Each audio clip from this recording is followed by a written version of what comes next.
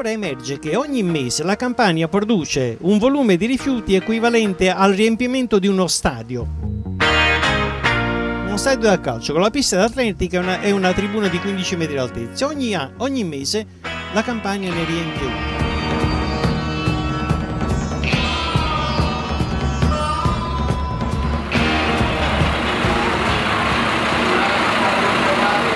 Allora, in un anno noi abbiamo bisogno di 12 stadi.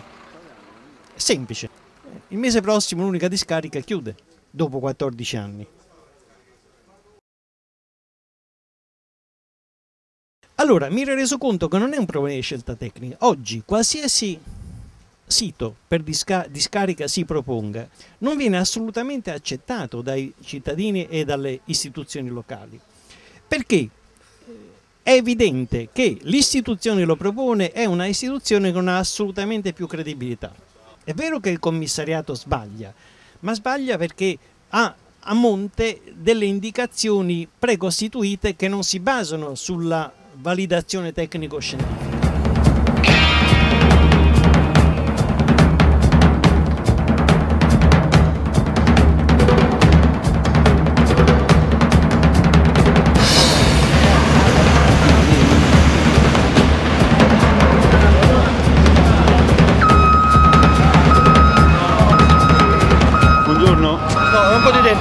Perché non posso entrare? Siamo chiedere almeno che cos'è questo? È immondizia.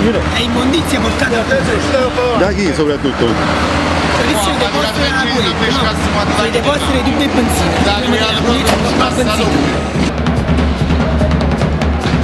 Allora, questo che qua ci sta in dalla raffineria, questo è solo della Kuwait.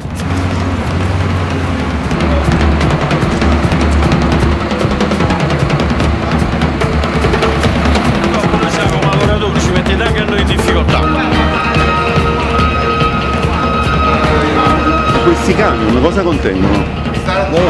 Sono pieni, sono vuoti? Non lo so, Ma di chi è questo suolo? La proprietà di questo non lo suolo? so, non lo so. Eh, ma lei come si trova qua? Se non Io vengo a scaricare, guarda, quel camione qua. Lei per chi lavora? Per la SIA. Quindi la SIA sta scaricando qua dentro? Cioè questi serbatoi sono ancora pieni di Sì, benzina? quello è super dentro, casò. Dietro, dietro a vede, vedi, se vai a inquadrare un attimo ci stanno i tubi dell'oleodotto. Sono tubi dell'oleodotto questi qua. Ma questo dopo varie proteste adesso hanno messo questa rete. Eh, Prima stavano che i bambini ci giocavano sopra. Eh, olio, casa olio, super. Da rifornire la guardia, guarda di fronte. E non vi hanno detto che cos'è una discarica? No, ci dicevano che era un sito di emergenza di 20 giorni, un mese, Da quanto dura? quasi due anni. Che questo è precisamente? Tal quale, no, cioè. Cioè è una discarica di tal quale, sono inerti, sono, sono secca, lumida, è... Voi lavorate tutti qua? Tutti. Per la SIA? Il proprietario di quest'area chi è? Ma lei lavora qui? E non sa di chi è...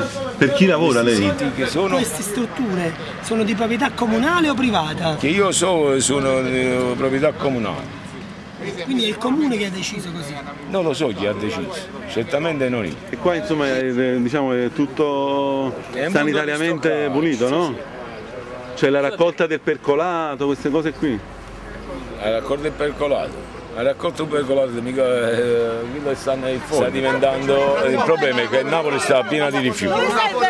Quindi se, eh, noi stiamo cercando solo di dare una mano alla città e alla cittadinanza. Se poi questo diventa anche un problema. Come si può dire? Sono abusi che fanno, è una discarica a cielo aperto, siamo a 500 metri dalla stazione centrale, 500 metri da Ponticelli, 500 metri da San Giovanni e 500 metri da Barra.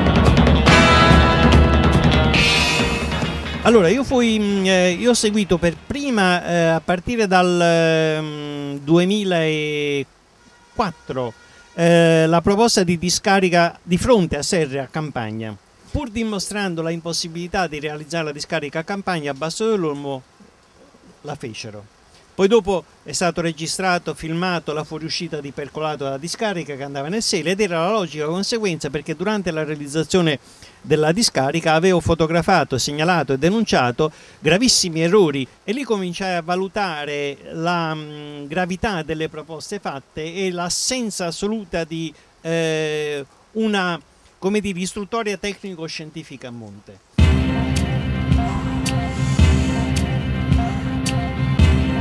Fu co- costituito un comitato paritetico di esperti che dovesse valutare l'idoneità geologica e ambientale del sito di Valle Masseria che era già stato scelto dal commissariato.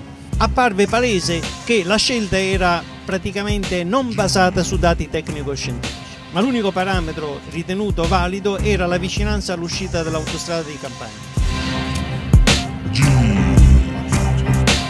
Si ricorse al decreto legge dell'11 maggio 2007 che per decreto legge individuò in Serre uno dei siti da realizzare e quindi il comitato tecnico scientifico fu sciolto. Questo decreto è stato trasformato in legge il 5 luglio e individuava le discariche poi il commissario delegato che ha sostituito il dottore Bertolaso non ha realizzato. Deve sempre dire perché non le ha realizzate. Poi perché improvvisamente a fine dicembre tira fuori pianura? Don't believe in the news. USA, sé que estás mintiendo. Don't believe in the news. FBI got a big ass no. Don't believe in the news. USA, sé que estás mintiendo. Don't believe in the news.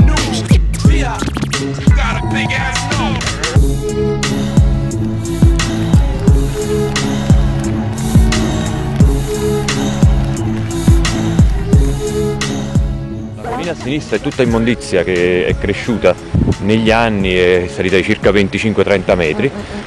L'area dovrebbe, diciamo, dovrebbe essere colmata diciamo, di rifiuto tal quale e ci sono dei teli impermeabili che hanno messo per evitare, mi dicevi? Eh Sì, per evitare che il, che il- il percolato per, per osmosi del terreno tenda ad inquinare anche la parete È adiacente, che è al- adiacente al parco, all'oasi del a- WWF. al parco del WWF. È estremamente complicato, per non dire impossibile, adattarlo in maniera tale che non dia problemi di inquinamento nel sottosuolo per l'accumulo di rifiuti.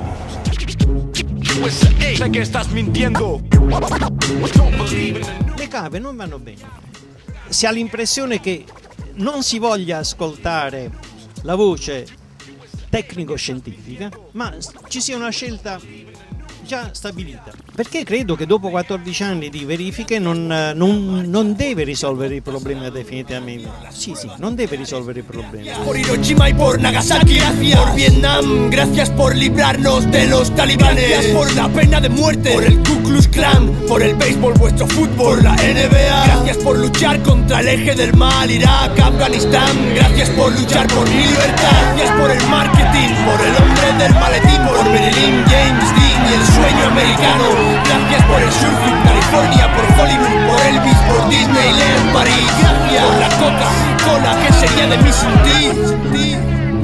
Tío Sam, sí, tío Sam, sí, tío Sam, sí, tío Sam, sí, tío Sam, sí, tío Sam, sí, tío Sam, sí, tío. Tío Sam, sí, tío Sam, sí, tío Sam, sí, tío Sam, sí, tío Sam, sí, tío Sam, sí, tío Sam, sí, tío.